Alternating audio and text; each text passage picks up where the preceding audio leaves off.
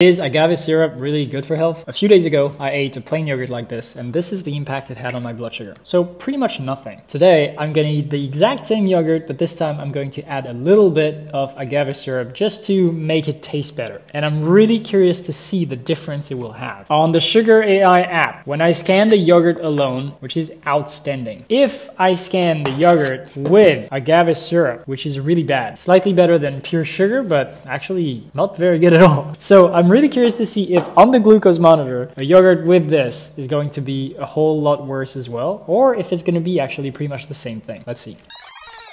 All right, it's now been exactly two hours since I ate my agave yogurt, and let's now look at the glucose monitor to see exactly what it did. So, the plain yogurt alone, without anything added, did this, which is a fantastically flat curve, beautiful, exactly the kind of thing you want. Now, as soon as I added a little bit of agave syrup in it, this is what it did, which is a small spike. It's not insane, but honestly, it still is a decent spike. So, if you can, it's better to not put anything in your plain yogurt because its glycemic index is much lower than sugar or honey. Let me know in the comments what you guys want me to test next time.